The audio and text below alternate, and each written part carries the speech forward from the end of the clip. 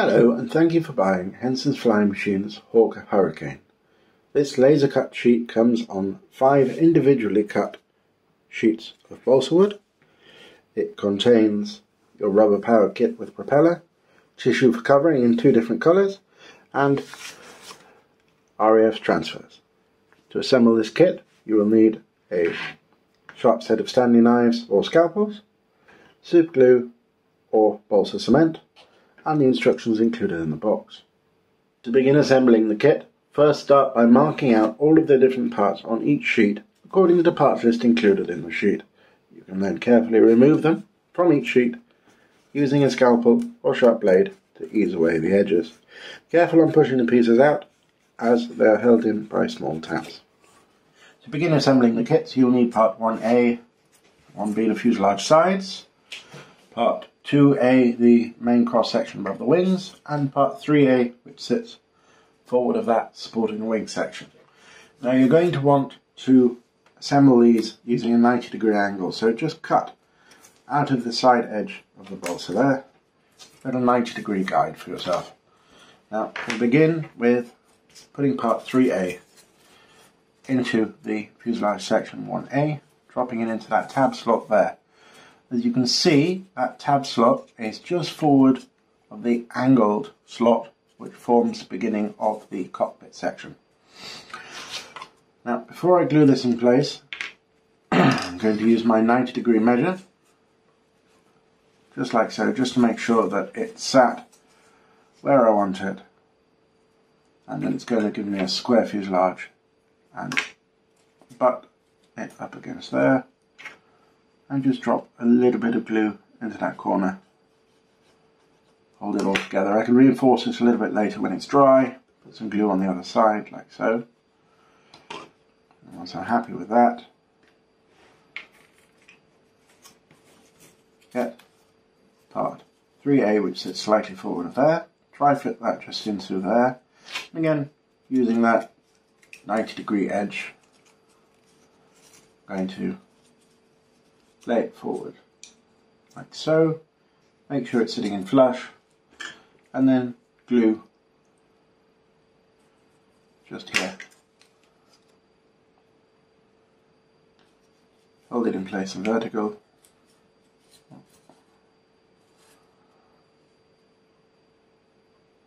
With 2A and 3A in place you can start fitting part 1B the opposite side of the fuselage. Make sure that you're going into the same slots on the opposite side just lay that in there and make sure the tab in the top is flush.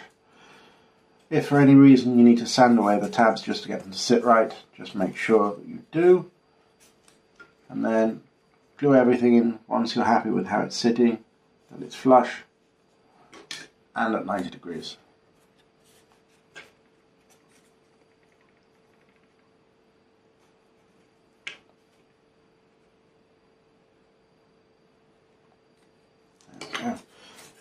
Right, now let that little section dry before moving on.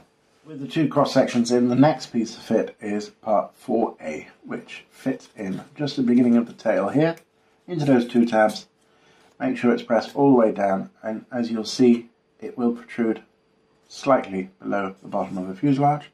That's going to give the Hurricane some of its shape. Make sure that it's vertical, and then glue on the inside. While you're doing this, just make sure the whole airframe is straight and as you want it the tail is going to first begin its taper here. Glue it in place tighten up and then move on to 5A which is the front of the aircraft the base of the nose which slots over these two tabs like so here. And hold it in place very gently and glue it on the inside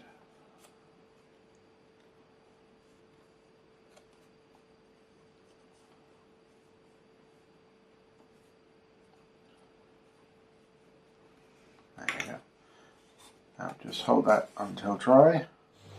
The next part to fit in is part 6A, which is the rear former of the fuselage.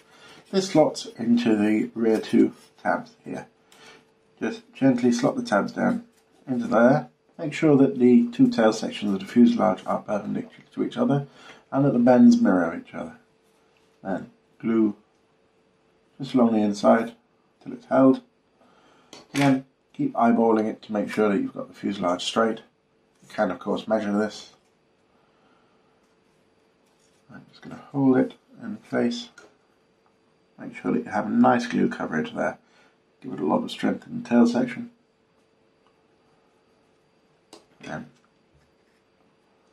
hold until happy. The next part to go in is 7A, which is the rear of the cockpit former, which goes into the slot here just forward. It has two tabs which slide down into the two slots on each side. You may need to slightly pull the fuselage apart and then just drop them in. Make sure that the top of the tabs is parallel with the size of the fuselage and just gently pinching it together, glue each side like so. Then the next part of the fuselage is the instrument panel itself or instrument cluster which is 8A which fits quite easily into these slatted slots just there forward. Now hold it from each side and then just with a little touch of glue into each side you'll see how it lays there creating your instrument panel like so. Before moving on from the fuselage, we're going to need to fit part 9A, which is the cockpit floor. This goes in from the bottom of the aircraft and then just push it backwards until it fits square up against the beginning of the fuselage formers here. And then if you level it up to the bottom here, you'll get a nice tight fit all the way around. Slightly pinch the fuselage together glue it to this cross section here and then to all the areas where it touches the fuselage. Try and keep it nice and flat all the way through. Add a little bit of glue where needed. And then hold until dry. With that section in place, we can lay the fuselage aside for a moment and start building the tail section. Tail section consists of part 11A, 13A, and the triangle former here, 12A. Now these slot together like so. Part 12A slots into the lower slot of 11A. Just like so. Push it all the way along and up flush. And little bit of glue to hold it in place It's nice as well at this point just to check that it's at 90 degrees. Hold it right 90 and then move on with part 13A, the front of the tailplane. Now always dry fit them first just to make sure they're in place and if there's any sand needed to the slot do that ahead of time. And then just push it up as far as the slot will allow you. Use the 90 degree angle confirm it's seated right and then glue 11A to 13A all the way along the wing section here. Now the slot should guide it into place and make sure that it's seated correctly, but just eyeball it and make sure it is as you would like it. Now with that dry, we can fit it into the bottom of the fuselage. Now to fit that into the tail section here, slightly prise apart the tail. Slot in the assembled tail section into the two arms like that. And then just flatten it together. Squeeze the entire assembly up like so. Make sure that it is fitting straight and square. You want to do that by eyeball and then just glue all the little bits together so everything holds itself in place nice and flush and flat so that your tailplane is on straight and then glue it along there like so. Wait for that to dry properly before moving on with the build. With the fuselage coming together now, it's time to fit the top formers of the nose, which is 14A and B, these here. Slide them into the slots, making sure that they push down fully the whole way. If there is any trimming needed, just give it a little bit of sand on each side. Dry fit both of them first just to make sure they're the same on each side. Uh, nice and tight down in there.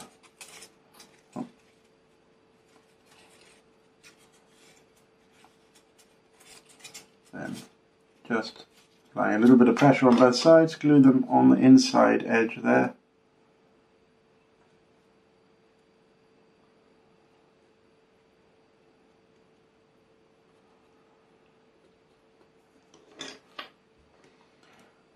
Just like so. Now let that little bit dry and then we'll move on to parts 15A and B which are the lower formers of the fuselage nacelle. They, parts 15A and B are fitted in exactly the same manner, just slot them into the bottom there, press it together very slightly, just hold it in place, drop of glue on the inside, same with 15B, now if there is any excess wood protruding out of the sides, just sand this flat or trim it flat before finally covering the model or displaying it. There you are, that is the fuselage coming together. Now we're ready for the stringers, which we will fit later on after fitting the wings. The fuselage is almost complete. It is still remaining to fit part 10A, which is the centre section of the wings or the base of the fuselage, also listed as the fuselage floor. Now, you'll see here that there is a long tab running along the bottom that fits onto there, covers both sides like so, and then pushes up flat. You'll see that everything should line up just like so, and then we can glue into the tab, pushing it down in place,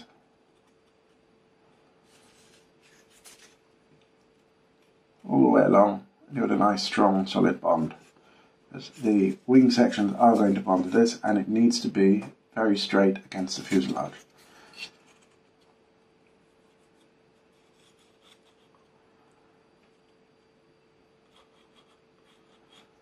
Like so, make sure it's down flush and then you can also glue on the inside just to give it a little bit added strength because this section will take up a few impacts when you have any wing heavy landings. There you are. And letting that dry, we'll start building the nose section up. To begin building up the nose, this comes in several sections which slot or glue together, starting from part 17A and B, 18A and B, all the way through to part 22A, which is the end of the aircraft nose. Now, to build these, simply butt them up together, like so, make sure that they're flush and then glue along the line where they meet.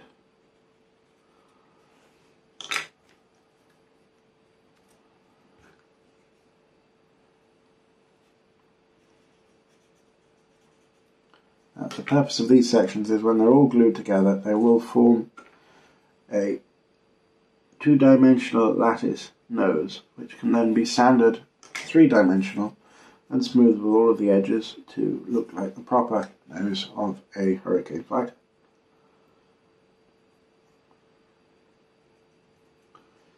There we go. Now begin by taking the biggest as a base and then layering on top of that, making sure that you have an equal distance the whole way around. So use the central rectangle as a guide Drop that on.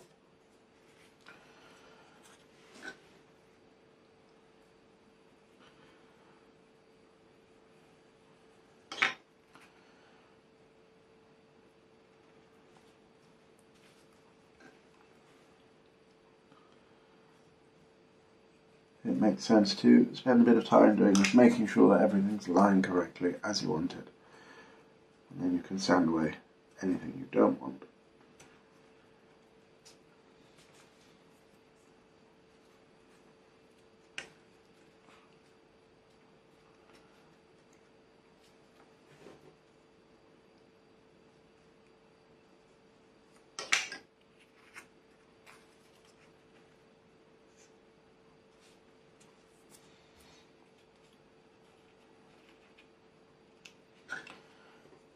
End goal of this will be to use a, the, a nail file, sanding block or some sandpaper.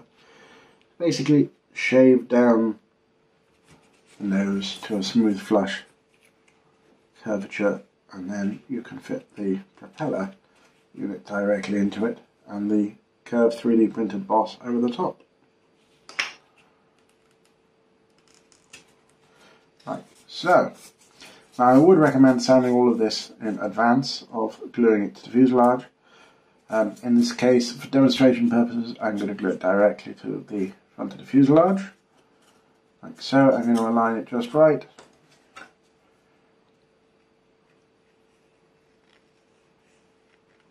Get it in place and then glue it on straight and upright. Like so. I can also put a bit of glue on the inside here just to kind of reinforce it like so.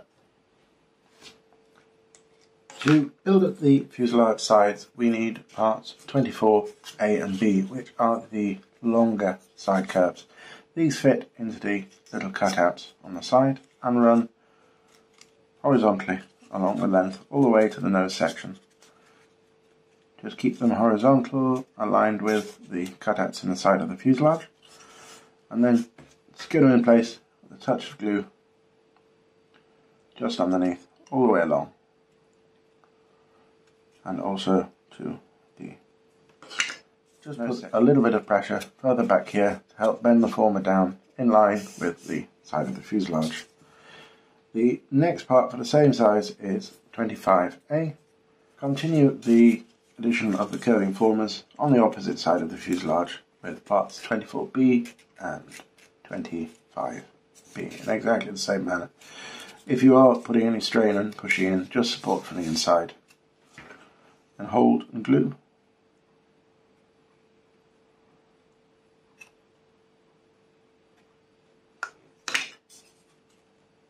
With the fuselage coming together, it's time to start building up the wing sections. Uh, we're going to start with parts 26A and 27A, which are the leading edge of the wing and the trailing edge of the wing. Now these jigsaw together very easily using these little tapered slots here that make sure that they fit perfectly together. The aileron of the aircraft is removable, it's just held in by tabs.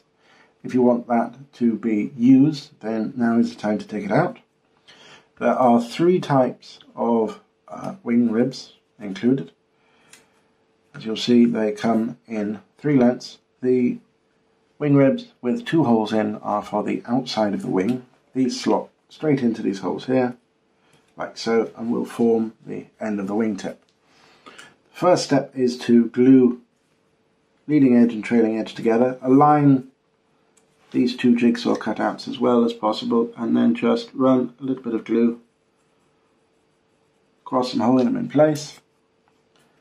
And the same with the inside. This needs to be done on a totally flat surface so that the wing will be flat. With those in place you can start with the outer wing rib and then just glue that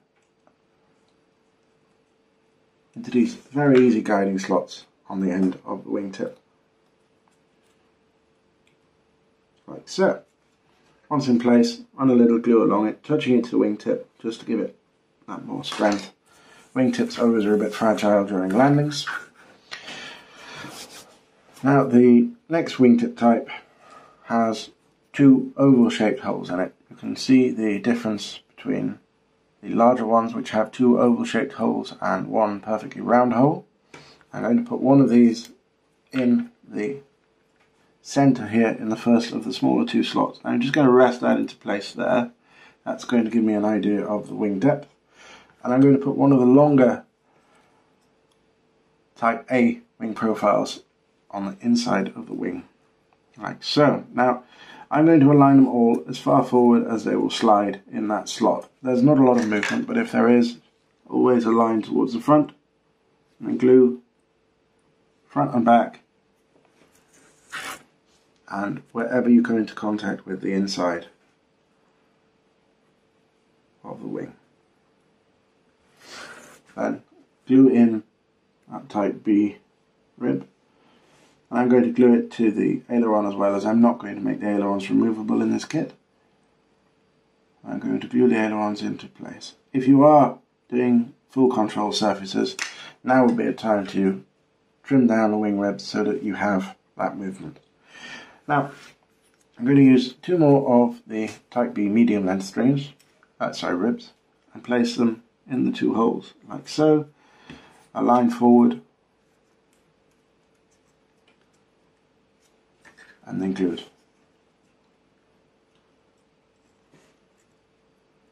Front and back.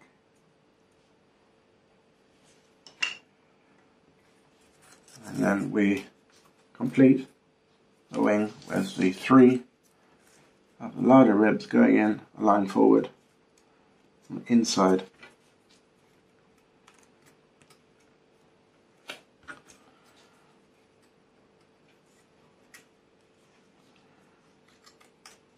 of the wing like so. And then with them all seated the way I want them, glue them into place, front and rear. Put plenty of glue on there just to give them the strength that's needed.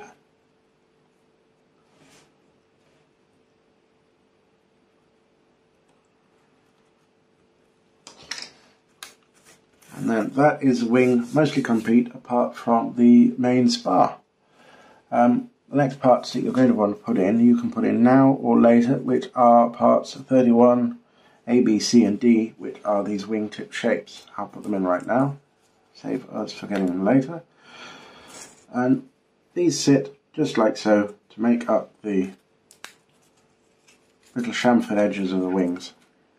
Now, align these wherever you're comfortable as these are going to shape the tissue as it fits on the only thing I would say is make sure that the starboard wing and port wing are arranged in the same way or it'll look fairly silly.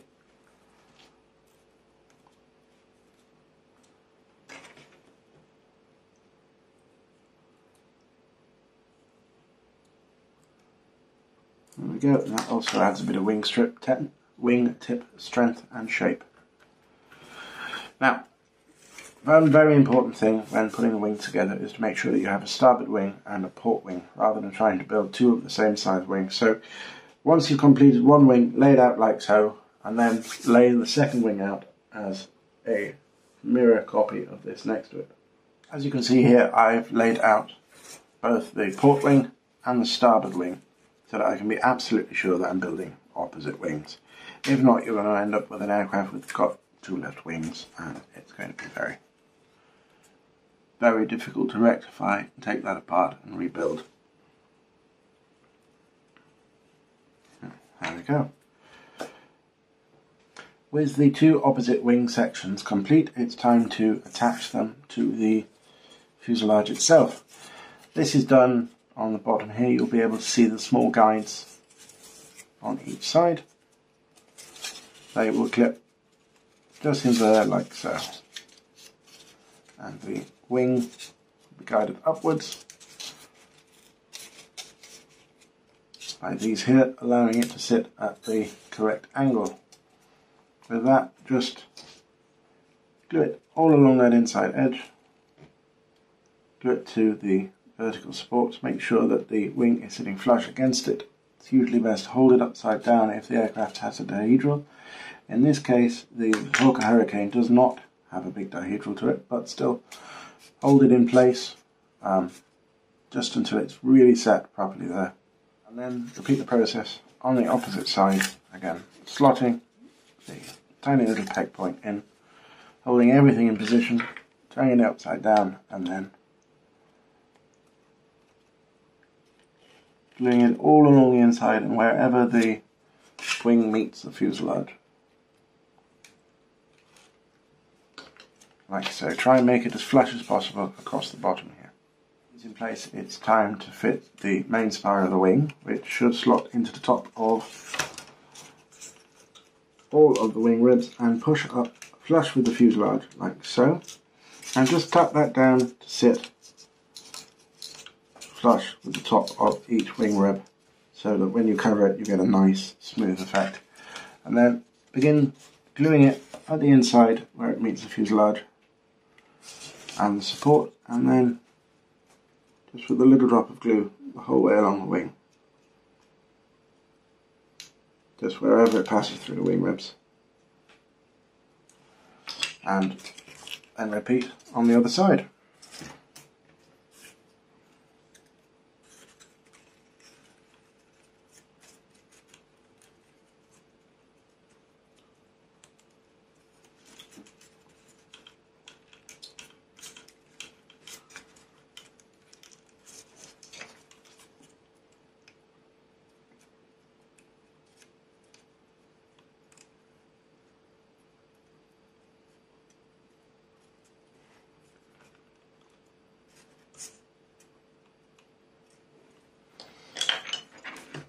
go, and that is our Hurricane coming together. We'll put some more of the fuselage formers on now and some of the control surfaces.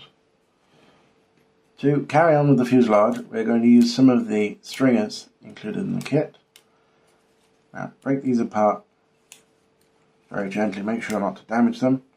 Now these are going to build up the actual curvature and shapes of the fuselage. We're going to start from the nose here. in no particular order, I'm going to use the stringers and just test lay them in the fuselage like so and then using a sharp blade trim them to the length that you want. There you are. Now just fit them in to the slots on the top of all of the fuselage formers until they sit down flush and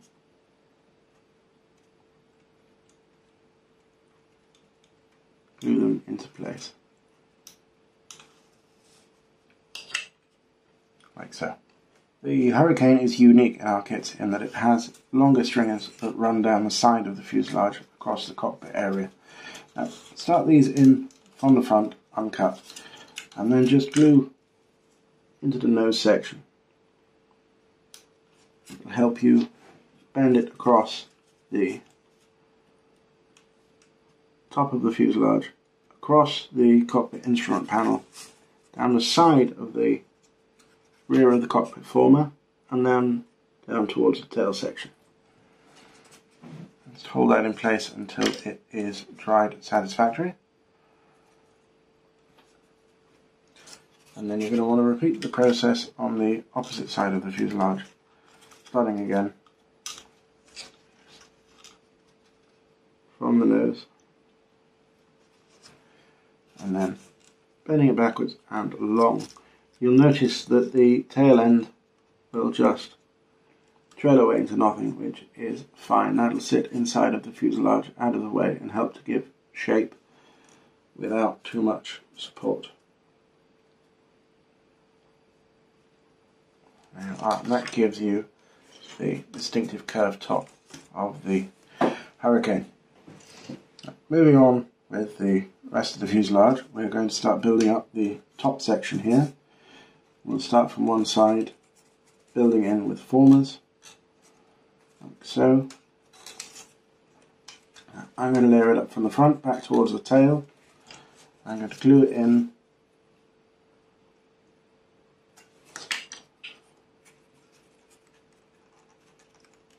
just onto this top section here. and along into the slots.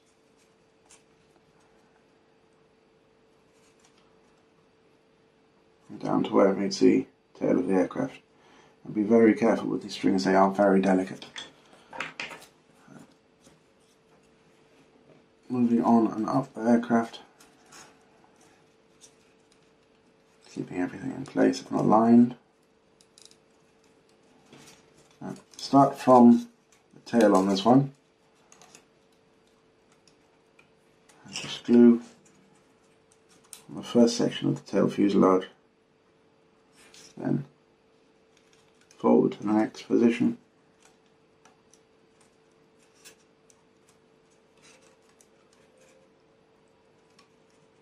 And finally on to the rear of the cockpit. Now you want to continue that across the airframe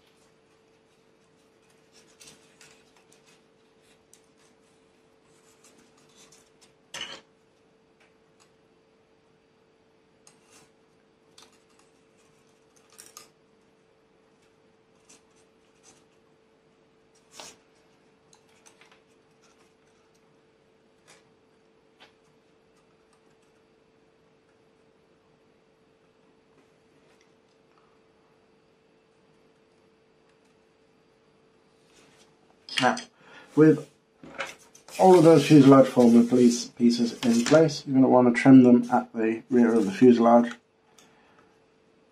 just like so, sliding across the wood grain, supporting the wood and then trimming it away. Trying not to put any excessive pressure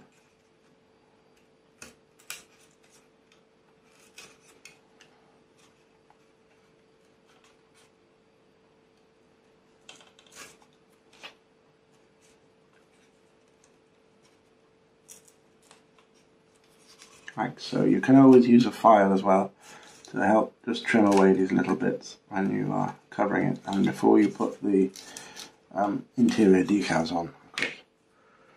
Uh, there you can see the shape of the Hurricane has taken a lot more stronger, bolder shape to it.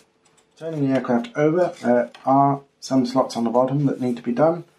The first one runs forward from the tail like so this slots in.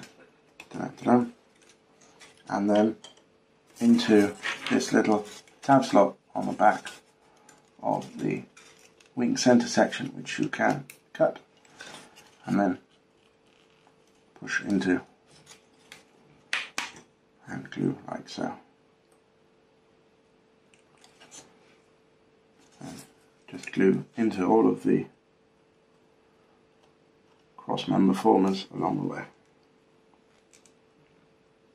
Now for the front of the aircraft, repeat the same process as on top of the aircraft, running the formers this time from the nose, gluing them in place, then bending them backwards.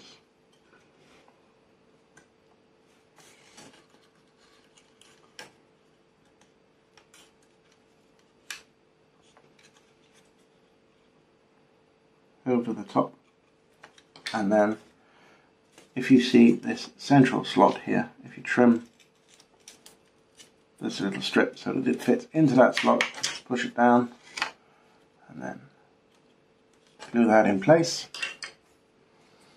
I'm going to repeat the process on each side.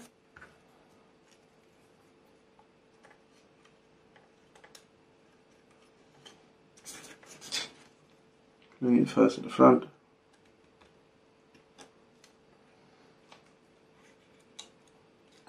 next into all of the formers.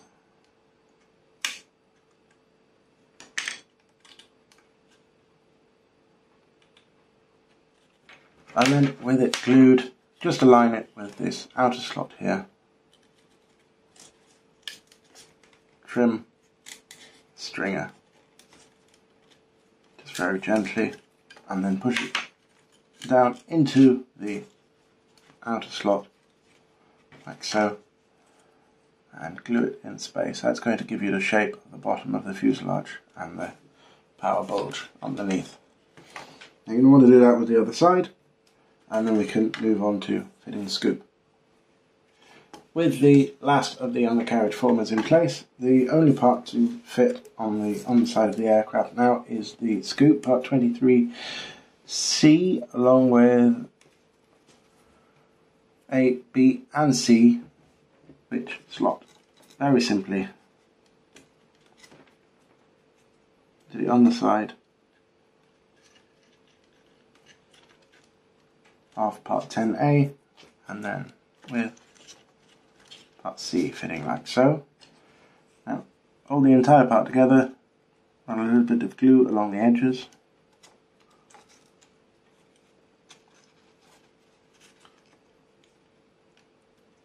you're going to want to sand a lot of this away. So it's always a good idea to glue in areas where you're not going to sand. That'll give you a nice rounded effect when you have sanded it back. Of course, the glue making a harder section making it more difficult to get a nice even sand through it. There you go, and that is the underneath of the aircraft complete with the scoop in place, which we're going to sand down later. Turning the aircraft over, all that remains is the control surfaces, which are the tail upright, part 28A. Now, for 28A, it's a very delicate part, so what you're going to do is run a little glue along it, whatever you're doing with it, before you cover it, just run a little glue against the grain into all of the places that will create a bit more strength. Now, as this is going to be a hand model, I'm just going to glue it directly to the back of 11A, which is going to complete that tail section. With it in place, I'll run a little bit of more glue around the edges.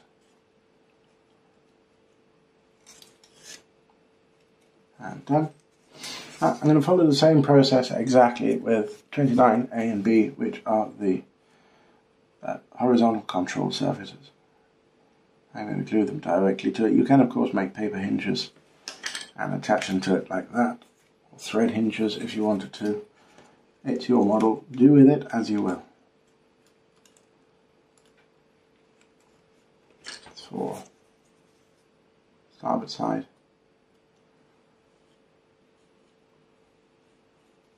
And exactly the same process for the port side. And there you have it, the completed Hurricane. The landing gear is in four parts, which I'm not going to attach to this particular kit because I'm going to use it for free flight. They are parts 30A and B, and the inner parts of those being 31A and B, which quite simply push out that centerpiece drop into there like so. Glue along the meeting edge.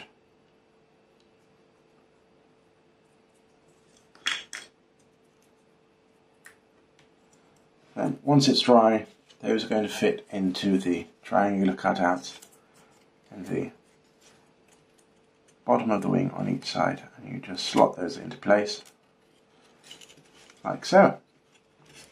And that is your completed Hurricane.